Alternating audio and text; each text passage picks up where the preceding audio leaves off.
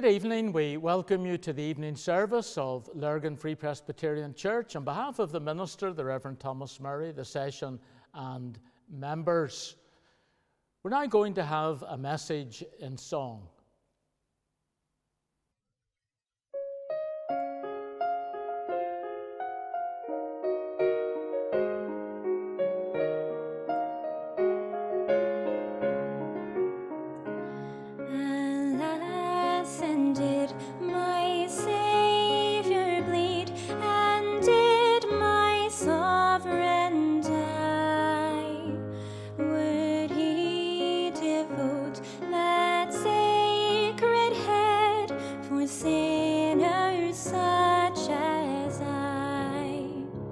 I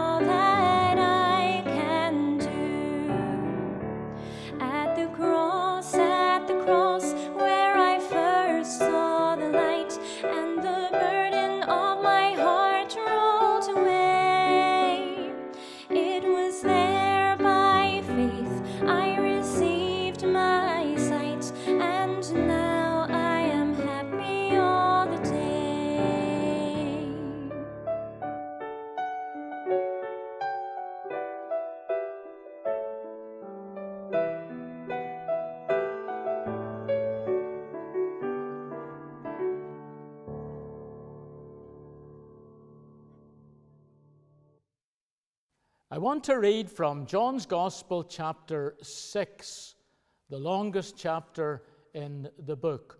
John's Gospel, chapter 6. There we have at the beginning the story of what's known as the feeding of the 5,000. But the next day, the Lord spoke to the crowd who had returned. And let's take up our reading in verse 30 of John's Gospel, chapter 6. They said therefore unto him, What sign showest thou then that we may see and believe thee? What dost thou work? Our fathers did eat manna in the desert, as it is written, he gave them bread from heaven to eat. Then Jesus said unto them, Verily, verily, I say unto you, Moses gave you not that bread from heaven, but my Father giveth you the true bread from heaven. For the bread of God is he which cometh down from heaven and giveth life unto the world. Then said they unto him, Lord, evermore give us this bread. And Jesus said unto them, I am the bread of life. He that cometh to me shall never hunger, and he that believeth on me shall never thirst. And then dropping down to verse 47 Verily, verily, I say unto you, he that believeth on me hath everlasting life. I am that bread of life. Your fathers did eat manna in the wilderness and are dead. This is the bread which cometh down from heaven, that a man may eat thereof and not die. I am the living bread which came down from heaven. If any man eat of this bread, he shall live forever. And the bread that I will give is my flesh, which I give for the life of the world. The Jews therefore strove among themselves, saying, How can this man give us his flesh to eat? Then Jesus said unto them, Verily, verily, I say unto you, except ye eat the flesh of the Son of Man and drink his blood, ye have no life in you. May God bless this, the reading of His holy word. If you remember at the beginning of the lockdown, there was a tremendous shortage of bread on the shelves and of flour. When we managed to purchase some flour, my wife decided to get out an electric bread maker that we had purchased some years ago. My, it was enjoyable to wake up to the beautiful aroma of freshly baked bread, but it was even more enjoyable to cut a slice and to eat it. And eating that slice cut from that bread reminded me of a wonderful truth that the Lord Jesus Christ taught the people in John 6 about himself and about the simplicity of salvation. You see, in Christ's day, bread formed the staple diet of the people. The day before, he had multiplied the five small barley loaves, enough to feed 5,000 men, plus women and children. And so the next day, as the crowd were there, he turned to them and he rebuked them. In verse 26, he's really saying to them, Look, you are only following me for free bread and to see a miracle. And he rebuked them because he told them that they ought to labor to obtain a bread that can't be baked in an oven or purchased in a shop. He was speaking, of course, of spiritual bread that came down from heaven, and that bread is a person. He's speaking about himself. For in verse 35, we have this great title, and it's emphatic. It's one of the great I ams of John. He declares in verse 35, I am the bread of life. He that cometh to me shall never hunger. I still remember some decades ago as we were traveling to church, the radio was on on a Sunday morning, and the Radio Ulster service was being broadcast. And the bishop in the Church of Ireland said something like this In the feeding of the 5,000, we're not sure how it happened. Maybe the little boy took out his lunch and shared it, and those who were too greedy to share felt guilty, and so they shared their lunch too, and everybody had enough. Or whether it was a conjuring trick or an actual miracle is not really important. The important thing is that the lesson Christ is teaching is this we ought to care for the hungry and provide food. Now, that is not true. It was a miracle. It was something that only the Lord could do. And the purpose of the miracle was not to teach us that we ought to feed the poor. Of course, there are other parts of the Bible tell us that we, especially as Christians, ought to have compassion on the poor and the needy and seek to reach those that are hungry and starving. But that's not the purpose of the miracle. Because in John chapter 20, if you read that end of that chapter, It tells us there why John wrote these. In fact, he recorded seven miracles, and they're called signs or miracles. And John tells us why he wrote it. John 20, 31. Listen. That you might believe that Jesus is the Christ, the Son of God, and that believing ye might have life through his name. These miracles, including the miracle of the multiplying of the bread, is in Scripture so that you, reading about it or listening this morning, may believe that Jesus is the anointed, promised Messiah and that you would come and trust him and receive eternal life. You see, it was a miracle with a meaning, it was a sign with a significance. But the sad thing is, the thousands who had witnessed him performing the miracle, when he preached the next day, they had missed the meaning. They didn't see the significance of what he had done. All they wanted was free bread. Don't miss the message. Don't miss the message. John 6:35 Christ is the bread from heaven. Notice the people had a need. Verse 35 speaks about hunger. Now, there were many people going to and fro at that time. We were told it's the time of the Passover. That's earlier in chapter 6. You probably know that at the Passover, most Jewish families would travel down to Jerusalem to the temple. Remember, our Savior at 12 years of age went with Mary and Joseph that journey. We know it was three days at least to go that journey. So thousands were in the move. That is one explanation why so many people gathered to hear the Savior. They had listened all day to the greatest preacher. It's coming night time. They had nothing to eat. And Christ was moved with compassion because they were hungry. Now, not starving in the sense of people in famines around the world, sadly, that happen, but they were hungry. They, they had nothing to eat all day. And so he sensed their physical need and he cared for that by taking the five loaves and multiplying them, and the disciples distributed the bread, and everyone had enough. But Christ also saw their spiritual need. So the next day, when they came back, he began to take that physical bread and the miracle he had performed as an illustration of himself and the simplicity of salvation. You see, you have a spiritual hunger, whether you recognize it or not. You do. You have a need that can only be met by bread from heaven. I'm speaking about the Lord Jesus Christ.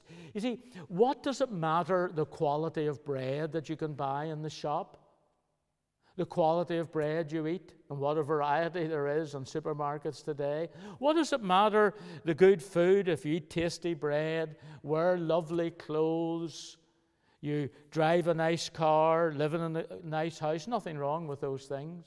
But what does it matter if when you get sick you go to a, a, a beautiful hospital that's clean and you get the best medical help? But then what does it matter if you die? And you're buried in a beautiful casket. And at your funeral, there are beautiful words say, What do all those physical things matter if you go out into eternity without Christ, the bread of life, and end up in a Christless hell? And the Savior saw their spiritual need. And Christ can meet the spiritual need by Himself. You see, Christ is heaven's bread for our spiritual need. And just as Christ performed a miracle with the multiplying of the loaves to satisfy their physical need, Christ performs a miracle to meet your spiritual need. I'll never forget many years ago, when I was a pastor in the church, a young man, probably 20, 21. I knew him well, brought up in the church, family, grandparents, and so on. Came to the meetings. I assumed that he was a believer because he attended everything. And he asked to see me after a service. And I spoke to him, and he said, What is it you want to see me about? And he didn't answer. And I said, uh, Tell me, are you saved? He said, Mr. Johnstone, people in the church think I am. I've made professions. But lately, I've come to realize that I do not genuinely know Christ as my Savior. And then he said this never forget it. Mr. Johnstone, I need the Lord to do a miracle in my life. I'll never forget that. Because he had come to realize that salvation is more than turning over a new leaf, joining a church, trying to improve our conduct, adhering to a creed. Salvation is a miracle. It's a miracle. The people that are in need, and only a miracle can meet that spiritual need. But secondly, in John 6 35, notice the provision to meet their need. And the provision is a person. Christ said, I am the bread of life. In verse 32, he says, I am the true bread. Verse 51, the living bread, the bread of sacrifice. In verse 33, for the bread of God is He, a person, speaking of Himself, which cometh down from heaven and giveth life now, the life our text and used in other verses in the passage is speaking about is not simply existence. Everybody will exist forever. There was a time you and I were not. There never will be a time we will cease to be. But Christ is referring to a quality of life, spiritual life, eternal life that is found in the Lord Jesus Christ. You see, He is the bread, offers Himself to us. Now, how is Christ the bread? Well, notice he referred over and over again to the manna. That had occurred hundreds of years before when the Israelites were going through the wilderness. God gave them bread from heaven. The manna was called bread. The people didn't know what to call it, so they called it, What is it? What is it? Manna. That's what the Hebrew word means. Manna. What is it? Well, Christ is comparing himself to the manna that heavenly bread. And it's so appropriate that he who is the bread of life came down from heaven and was born in Bethlehem, which means literally the house of bread, because he came to be the bread of life. You see, that manna is symbolic of Christ and his birth. It came at night. Most didn't see it coming. Just as when Christ was born in Bethlehem, few people in this world took any notice whatsoever. The coming of the manna in Exodus 16, you can read about it in a few verses in Numbers 11. But you will find in reading Exodus 16 that the manna and its coming was associated with the glory of God. And of course, when Christ was born, didn't the angels sing, Glory to God in the highest? Glory to God in the highest. And then you will read how it is a picture of Christ in his being, Christ's character. Oh, he, he's different than us. He's the God man, he's the perfect man. You see, you read the description of the manna, go through and note the verses. It was white. That speaks of his purity. Oh, Christ never sinned. He knew no evil. He did no evil. He, he, in him was no sin. He's absolutely perfect. The sinless one, the purity. And then it tasted like honey wafers. Does that not speak of his pleasantness? Oh, taste and see that the Lord is good. It was like bdellium. That was a precious stone. Oh, the preciousness of Christ. Believers, we can say, Jesus is precious to me. And then it was round shaped, and that speaks of perfection, the perfection of our Savior. It tasted of fresh oil. Is that not the power of Christ? Christ is the heavenly manna in his birth, in his being, ah, but also in his bruising and baking. The people didn't just lift up the manna from the ground and eat it. It says in Exodus 16 and Numbers 11 they had to take it and grind it in a mortar or crush it in the mill, just as you do with wheat or barley grain. to make the flour, to bake the bread. Christ was bruised. He was bruised for our iniquities. And then, when it was put together, it was put into the oven. Or in another verse, it says it was put into the fire. And the Lord Jesus Christ is heaven's bread for us because He's absolutely perfect and He's precious and with description of His being. But He was bruised for us, for our sins, our iniquities. And then He was placed into the oven, as it were, of God's wrath. And the fire in Scripture, it speaks of judgment. That fire of God against my sin and your sin, believer, that fire that should have fallen upon us for all eternity, hellfire, that day at Calvary, he endured the fire. He endured the fire. And thank God, he has become the bread of God for us. I was the one had sinned, but he endured the punishment. The people had a need, they were hungry. The provision for the need, Christ said, I am the bread of life, the person. Ah, but what about the partaking? The partaking. How do you eat of Christ? Oh, we must get this absolutely right. The manna was a gift from heaven. The people had to freely receive it. It was available to them all, but they had to take it when they were in the wilderness. They had to come. And Christ is the true bread sent down from heaven. And he said, If you come to me and eat of me. You see, a slice of bread, let's say even toasted in a sandwich or a slice just buttered sitting there, it will not benefit anybody unless you reach for it, take it, eat it, and it becomes part of you. That's what the Lord means in verse 35 when he talks about coming and receiving him. In verse 51, if any man eat of this bread. And then we come to verse 53, which is really simple but has been controversial. In verse 53, he says, Except ye eat the flesh of the Son of Man, you have no life in you. The Roman Catholic Church, in its perversion, tries to take this verse as an argument for the Mass, where they claim that when the priest takes that wafer bread and holds it up and says, This is my body, that it's actually changed into the flesh, the body of Christ. And they quote this verse, Except you eat his flesh. It's not talking about a literal eating, it's a figure.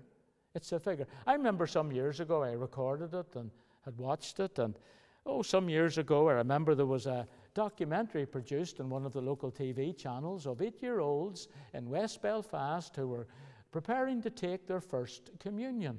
Very interesting because I wrote down some of the what was said.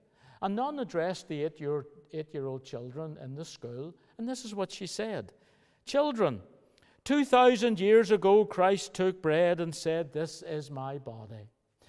And when you go to your first communion, the priest will repeat those words, This is my body.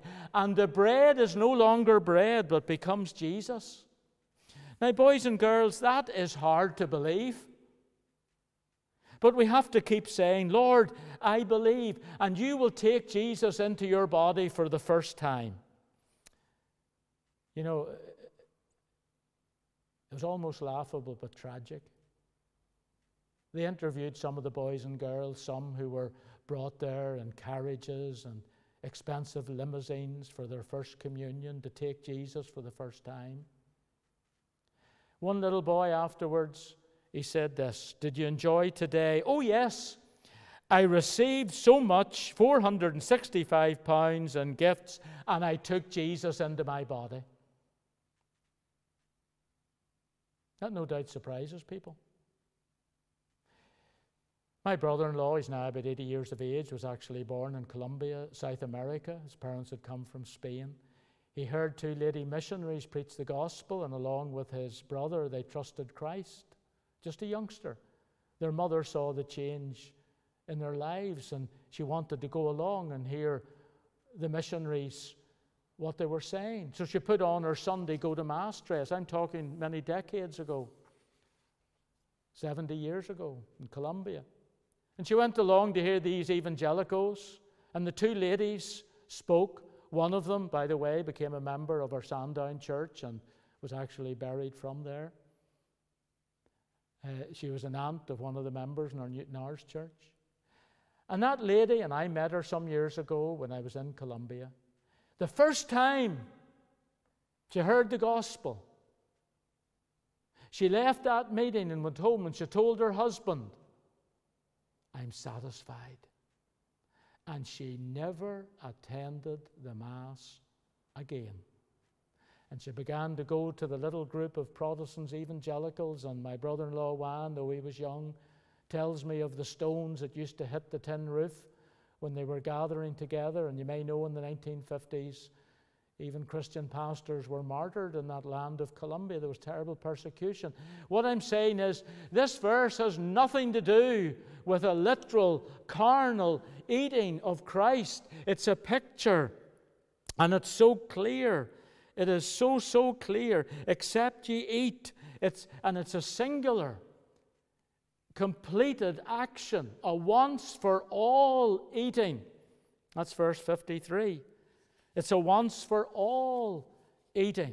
What it means is just as the day before those people took the bread and ate it, became part of them, Christ is saying, Listen, you need spiritual bread, and I'm that bread, and you need to come and take me and trust me as your Savior, for I am the bread of life. Now, in verse 63, it explains it. For Christ said, The words. You see, we feed upon Christ and we trust Him because we read about Christ in the Bible, which is also called the bread, the Word of God. And we believe what He says. Come unto me, all ye that labor. We come. We believe John 6 35, where Christ said, Come, believe, receive, eat of me. And we reach out the hand of faith, as it were, and we take Him. You see, the day before that free bread, literal bread. And I know how people run for free bread. There's many years ago in Armagh, my mother in her 90s lived with us on Christmas Eve. She wanted to go a little walk, so we got the rollator out into the car. And of course, being a lady, she wanted to go to the shops. That's where the walk was. So we went into a supermarket there. It was about 3 o'clock Christmas Eve. We're just about to leave when over the speaker there came a message. All the bread and pancakes and everything in the shelves, they're free for the taking because obviously there's going to be a holiday. You should have seen the stampede. People grabbed, there was a couple, I'll never forget it, they had literally armfuls and they were throwing them into a van and literally running in. And the man, a little bit embarrassed, turned around, is to feed the cattle. Well, I'll be honest, we took some as well and put them in a the freezer. Free bread. They took the multiplied bread the day before. But yet, when Christ said to them, Look, you, took that bread, that miracle bread, and you took it, but come to me. And those same people refused to come. And it says in John 6 those thousands of people turned away, wouldn't take him. Isn't that sad? Isn't that sad? Or, or I think of this imagine when we get back to church, and maybe we will be allowed, we trust sometime soon, maybe a church tea, and someone comes round, Would you like a sandwich? Oh, yes, I'd love one. Well, go ahead and take it. Oh, I'd love that. It looks beautiful, that sandwich. I'd, well, take it. And you sit there and you don't. Re- What's wrong with you? Go ahead, take it.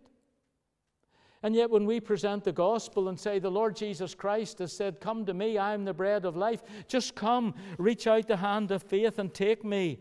Yet, so many refuse to take Christ. Are you saved?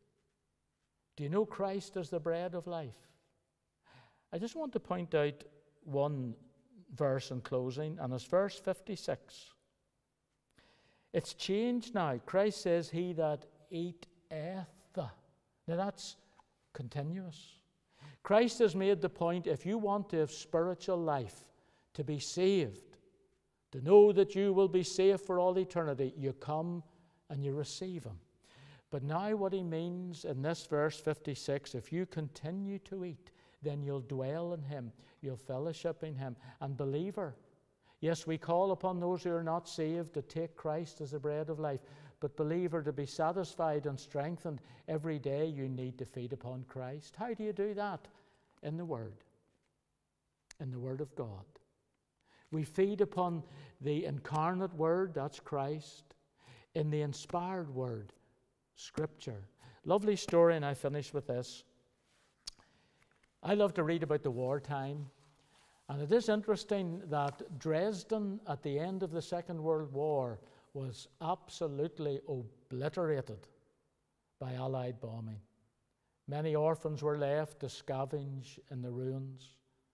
There was awful suffering of those orphans. In fact, my wife and I were missionaries in New Guinea. We're way back in the jungle, we're no other Europeans, and the first time we met this missionary couple, we thought it was strange that she seemed to be wearing a wig. Not that I like to judge women's hairstyles, but it was fairly obvious. And then we discovered.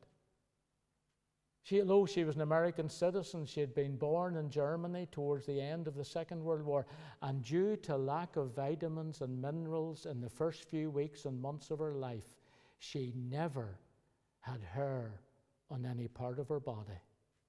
And you know what was strange? A, a lady actually from had lived in Germany, round about the same age, came to the field and she had the same difficulty.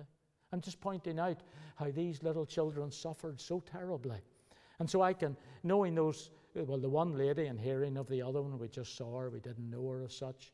But knowing Mrs. Tuseli and her husband, it brings it forcibly to us that those little children, they, they were scavenging for food and dying, and the American GIs, the army set up an orphanage, tried to get them to come in. The children were afraid, obviously enemy soldiers and so on. Fed them, but they couldn't get the children to lie down and go to sleep. And actually, the cook came up with a brilliant idea. I don't know if he ever studied psychology, but he said, I'll get them to sleep. And he baked little, we would call them baps, little small loaves, and he gave each child one and through the interpreter, this is for your breakfast, this is for tomorrow. And those, can you see them? Little children had been starving and scavenging among the ruins to get bits of scraps of food. They were holding in their hand the bread for tomorrow. And you know, most of them just fell asleep because they had bread for tomorrow. Oh, if you know Christ as your Savior, He's the bread of life. Come to Him and you'll have eternal life. And then as you walk with Him and know Him, you can put your head on the pillow at night and know that He is all you need. May God enable us to feed upon Christ. Let us pray. Our Father in heaven, we praise Thee that the Lord Jesus Christ is the Christ, the Son of the living God, and that believing we can have life through His name. Lord, we pray for any listening who have never yet come to Christ. Oh, convict them, enable them to receive Christ as their Savior. And Lord, we thank Thee that Christ not only saves, but He satisfies, and He strengthens, and He sustains us. And we pray, Lord, there would be that spiritual feeding upon Christ every day. Bless this congregation, the minister, the session, the committee, and all involved in it. We pray now that the grace of the Lord Jesus Christ, the love of God the Father, and the fellowship of the Holy Spirit may rest upon us. Amen.